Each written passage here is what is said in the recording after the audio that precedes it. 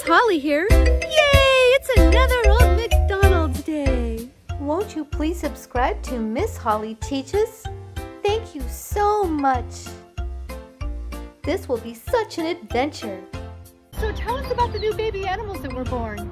Springtime, always lots of new babies in the spring. All right, let's check them out.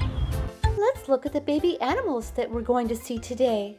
Say hello to the baby foal. And here is a baby colt. He's a little bit bigger than the foal, isn't he? We will see some cute baby lambs.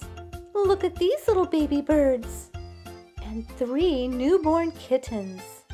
Here is a goose with her goslings. And two playful piglets. Mr. Old MacDonald is so kind to let Miss Holly walk around and see the baby animals. Here we go.